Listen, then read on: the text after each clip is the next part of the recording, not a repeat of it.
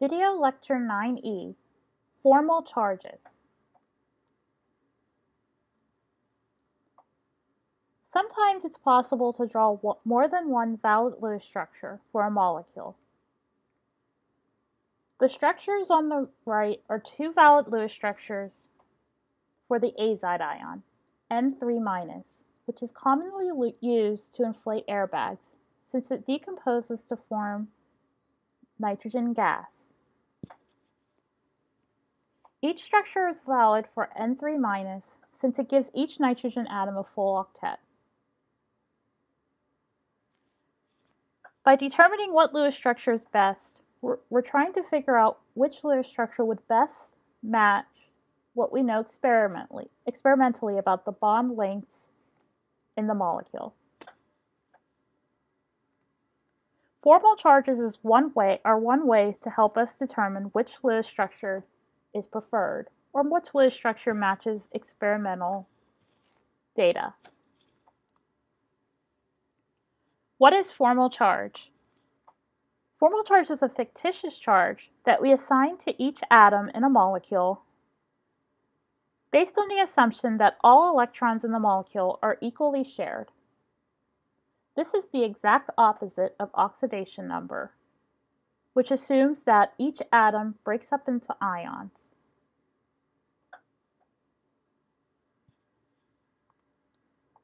We use formal charge as a bookkeeping device, just like we did for oxidation numbers. Formal charge is very useful in describing where the electron density will be in a molecule, even if we assume that electrons are shared equally. We can use this formula to very easily calculate the formal charge. We first need the number of valence electron each the atom has. From this, we will subtract the number of lines drawn to the atom, which represents the number of electron pairs shared between that atom and other atoms, and add to this the number of electrons in lone pairs.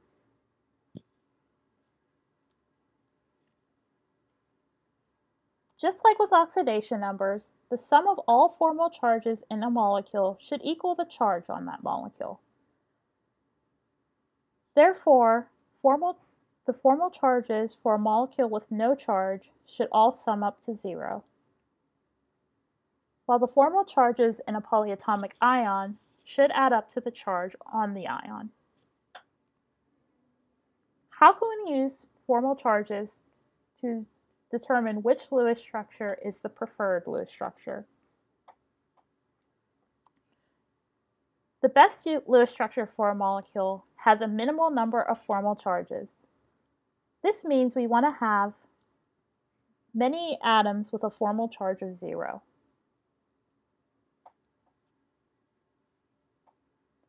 There are some cases where all the formal charges in a molecule will not be zero. This often happens in polyatomic ions.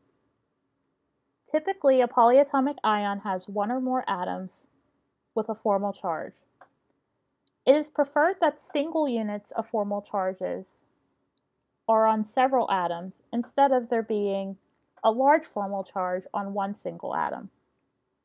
This means that if, a, if formal charges are necessary, we would rather have plus one or minus one formal charges.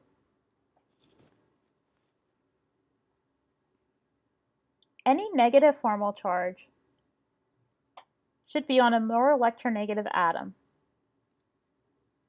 More electronegative atoms are better able to accommodate negative charges. On the other hand, positive formal charges should be on less electronegative atoms. Therefore, it is a goal in this class to always use these rules for writing Lewis structures.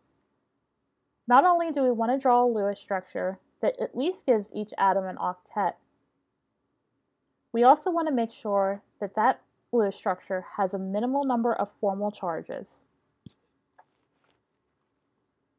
In the next part of this video, we will use our systematic method to draw a Lewis structure for sulfuric acid. We'll assign this structure formal charges to see if it has a minimal number of formal charges. Then we will minimize those formal charges.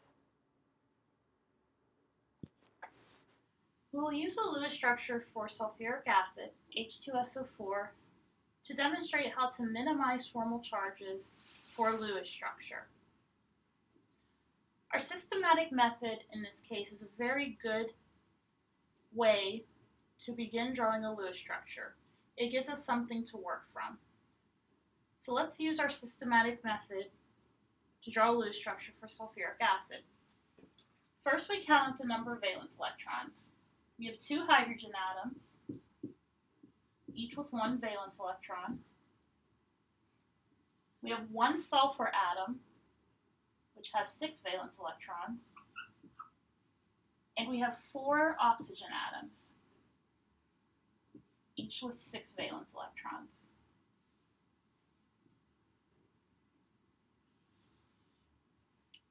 That brings us to a total of 32 valence electrons.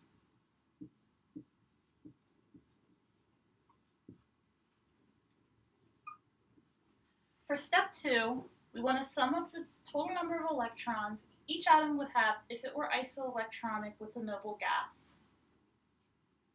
Hydrogen would have, for each hydrogen, we would have two valence electrons since it wants to be isoelectronic with helium.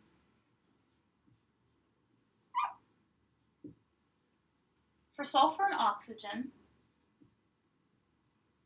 they would like to be isoelectronic with with any noble gas with eight valence electrons. This brings us to a total of 44 electrons.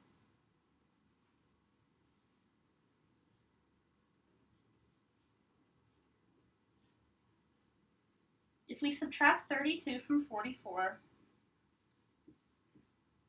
this gives us 12 shared electrons or six bonds.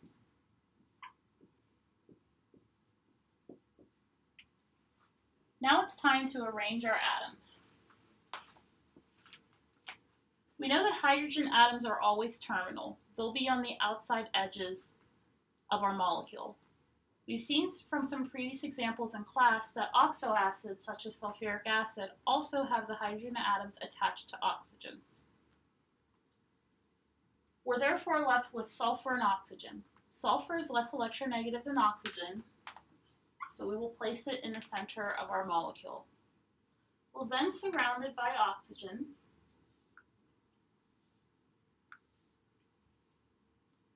And then draw our hydrogen atoms next to two of our oxygens.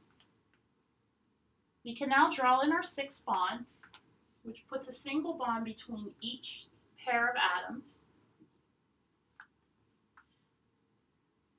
Sulfur, we see, already has, has an octet of electrons around it. So we'll add the remaining electron pairs around the oxygen atoms to ensure that they each have an octet. This means that six electrons need to be added to the to be ax, axial oxygens, and two need to be added to the horizontal, or two pairs of electrons or four electrons need to be added to the horizontal oxygens.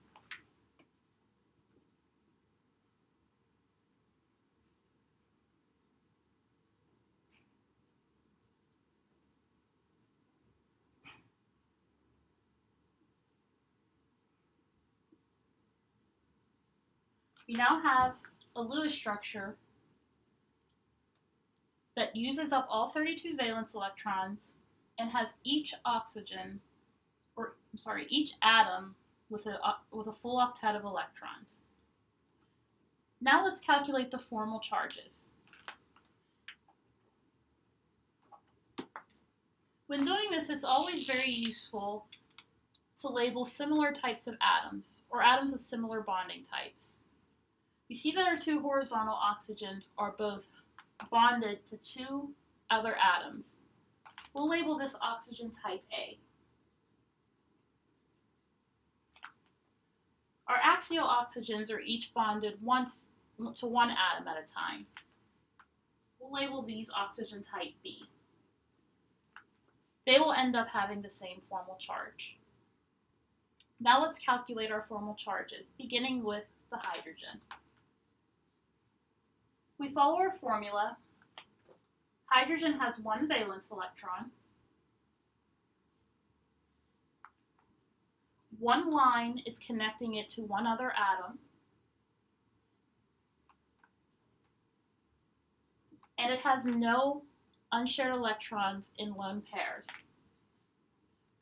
So our hydrogens all have a formal charge of zero.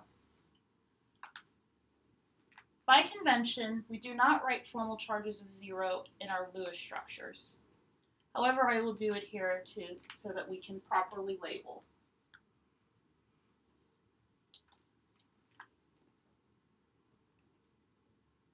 For sulfur, we have six valence electrons. Sulfur is connected to four other atoms with four lines. And sulfur has no lone pairs. Therefore, sulfur has a formal charge of plus 2.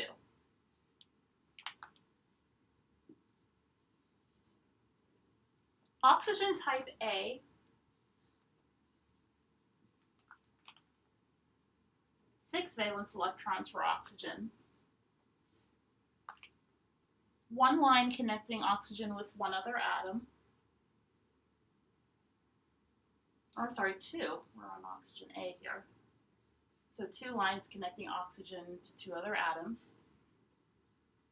Oxy oxygen type A has four electrons in lone pairs around, around it. This gives us a formal charge of zero.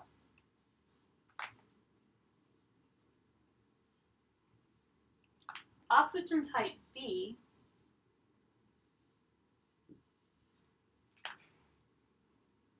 also has six valence electrons, one line connecting it to another atom,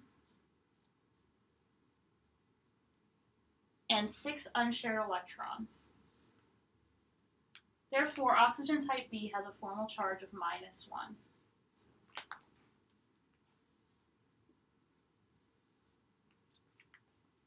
We see that although our Lewis structure gives each atom an octet, we have a great number of formal charges. We can reduce the formal charges in the following manner. We can take,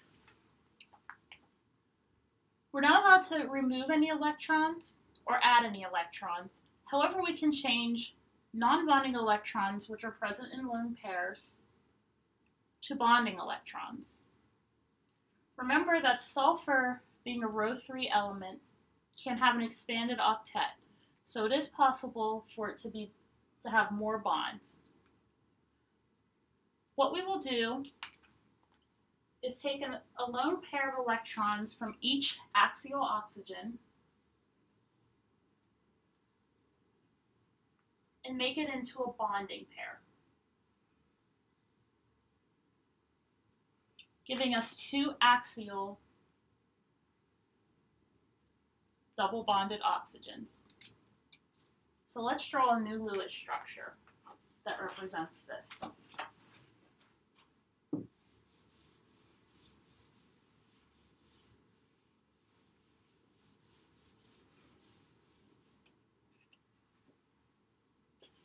Our new Lewis structure now has two axial double bonds to oxygen. The two oxygens in the axial position now only have two lone pairs. The rest of the atoms did not change.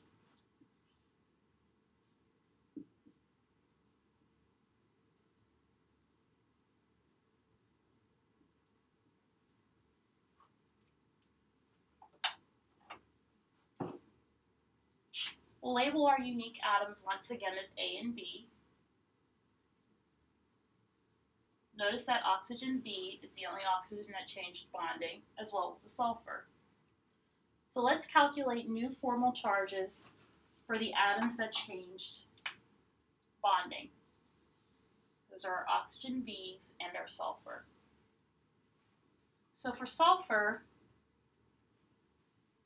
sulfur has six valence electrons. It now has six lines drawn to it. And it still has no lone pairs.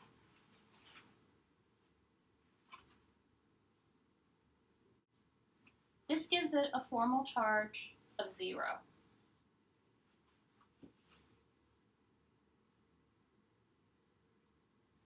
Oxygen B